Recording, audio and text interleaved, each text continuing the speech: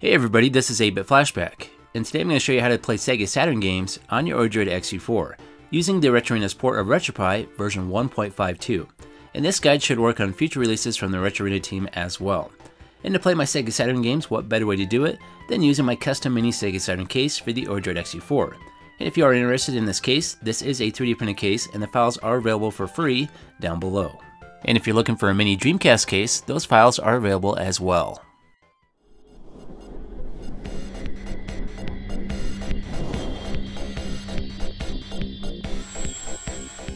So to start off with, you're going to want the latest port of RetroPie running from the Retroarena team on your Odroid XU4, and right now that is version 1.52.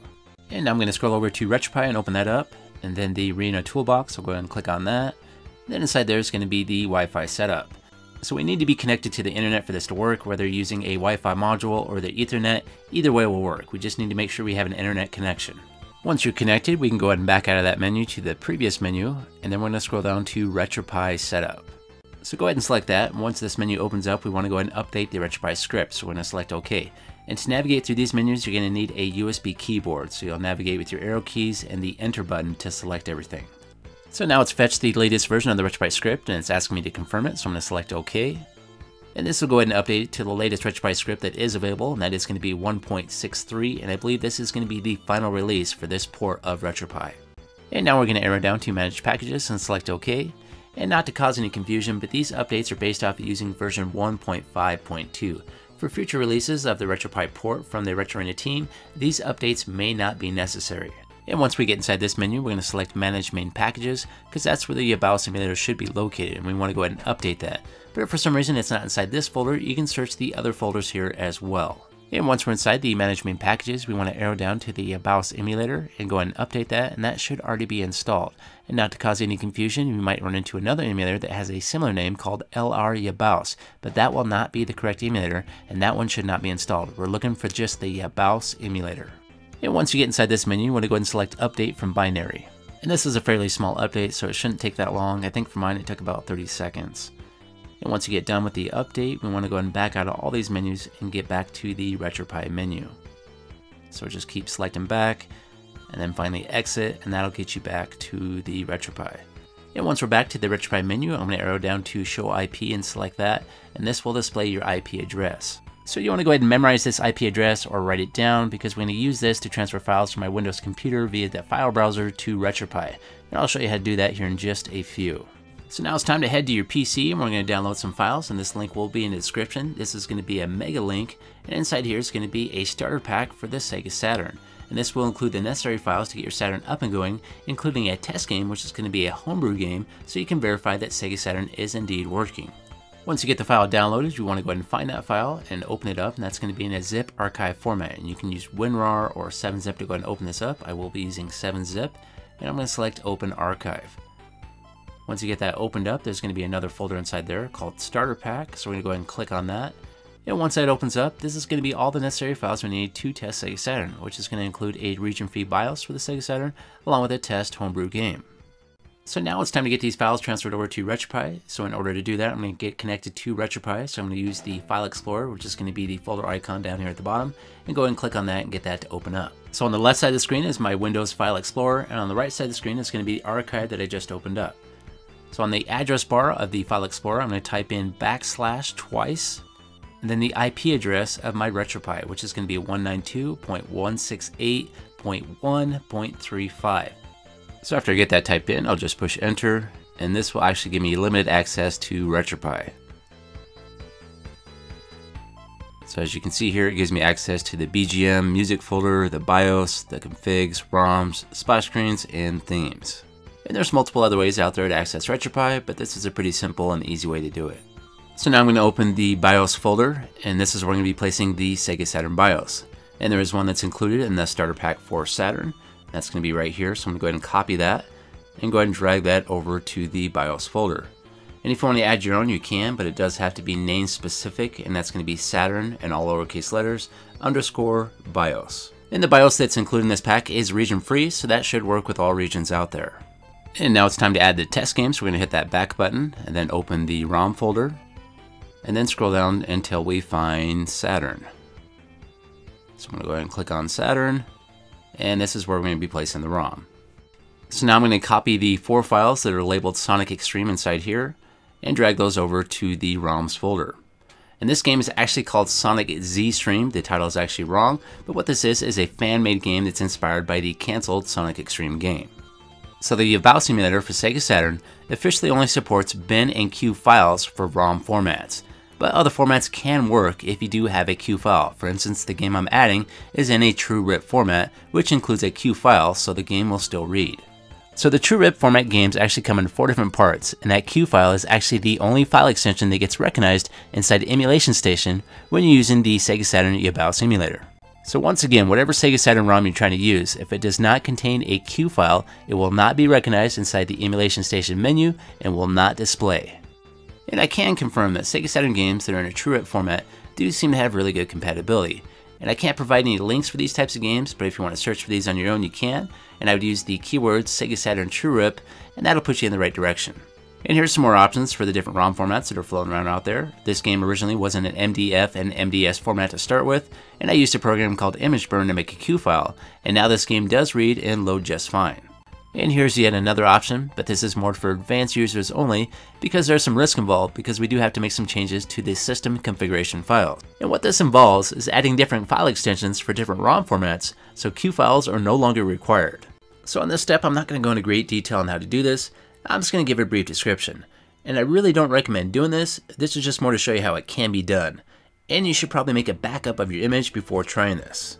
So I'm using a free program that I downloaded called WinSCP, and I'm connecting to RetroPie using an SFTP protocol with the IP address and the username as root and password as odroid. And with this program, I can pretty much get full access to my RetroPie image. So right now I'm inside the root directory of RetroPie, and I'm going to open up the ETC folder. Once I'm inside there, I'm to scroll down until I find the emulation station folder. I'm going to open that up, and then click on ES Systems Config.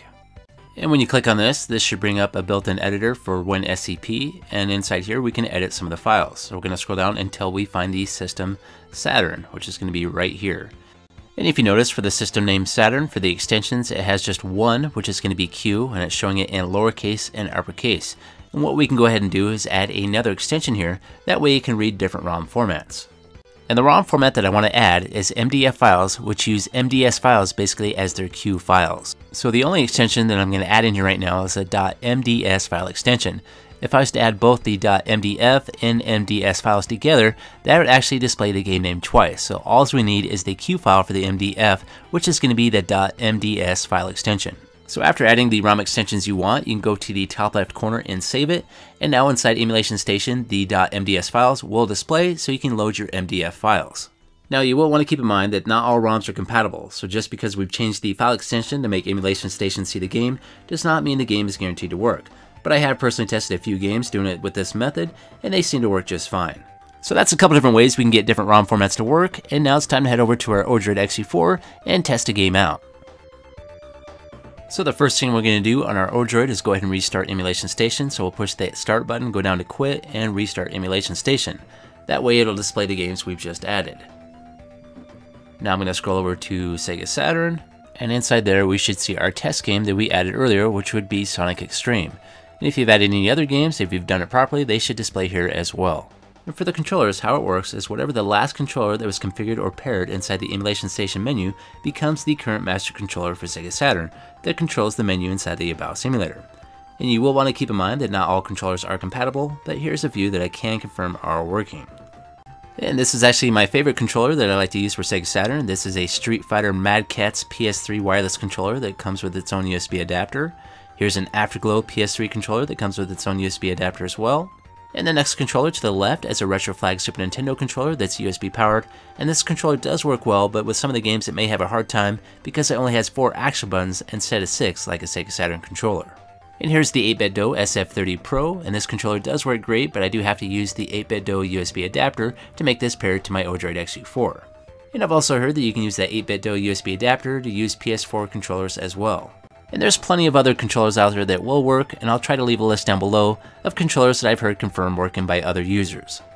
So I've already paired one controller inside Emulation Station, that's going to be the PS3 Afterglow controller, and now I'm going to pair a second controller, which is going to be the Mad Catz Wireless PS3 controller. and I want to make this my master controller, that's why I'm pairing it second, and that will control my menu inside the Sega Saturn emulator.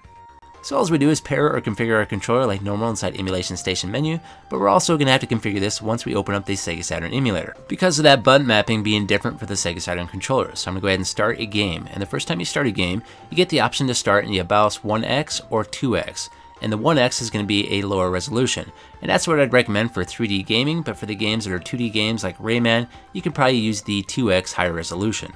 So by picking the right resolution, that'll help the games have a higher frame per seconds and give you a better gameplay experience.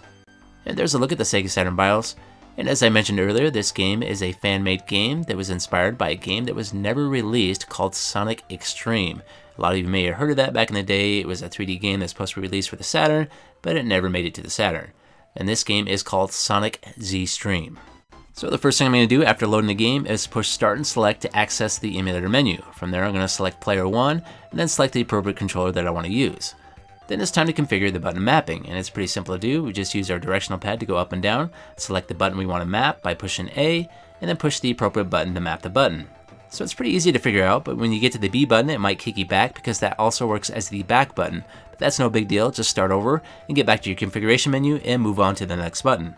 And as I mentioned earlier, not all the controllers are compatible, so once you get to this configuration menu, if you can't move up and down and map all the buttons correctly, then that means that controller is not compatible. As far as the analog mapping goes, that's really not that important because a lot of the games never use this feature in the first place. If you want to configure the mapping for the second controller, you can do that here as well. You just select player 2, then the appropriate controller, but to make all these selections, you will have to use your master controller. So you're going to use your master controller to make all your selections inside the emulator menu, and once you get to the button mapping part, for instance when you select A for the button mapping, you'll push A on the controller that you want to map. So the button mapping can get a little confusing, and I would recommend once you get two controllers paired, probably not to mess with any more controllers, because as soon as you pair a new controller, that might throw all your button mapping off, and you might have to start over from scratch. So I've been playing this game in 1x mode, which is the lower resolution, but here's a quick look at the higher resolution and back to the lower resolution. And just to let you know, the game is playable on the higher resolution if you want to try it out. But at times it does run slightly slower, and if you want to exit a game, you just push start and select, and then navigate down to exit. Also inside that menu, when you push start and select, you can activate the frames per second, so you can monitor what the frames per second actually is. Now let's go ahead and try out Mortal Kombat Trilogy, and if you want to access another configuration menu for the simulator, you can push A continuously when loading a game, and that'll bring you to this menu right here, and you can change that resolution if you choose to, and I'm going to go ahead and change it to 2x for that higher resolution. And just to let you know, there does seem to be a bug in the button mapping every once in a great while, maybe one out of 15 times I go to log in to play a two-player game, and the second player does not get recognized. And when this happens, I just access the emulator menu, go to my player 2, and go ahead and remap it, and then it starts working again. And I would consider this just a minor issue, and I'm sure this will get corrected with future updates. Also, something else I'd like to bring up, if you're experiencing any screen tearing problems, it might be because you're using a 720p TV when playing with this emulator. I have noticed when I'm hooked to a 720 TV, I get screen tearing problems, but when I'm hooked to a 1080p TV, I don't get any issues at all with screen tearing. So I'm not quite sure what's going on with that, but I figured I should bring it up. Okay, it's time for me to get out of here. If you liked that video, if you could, please hit that like button, and don't forget to subscribe, and have yourself a great day, and I'll see you next time.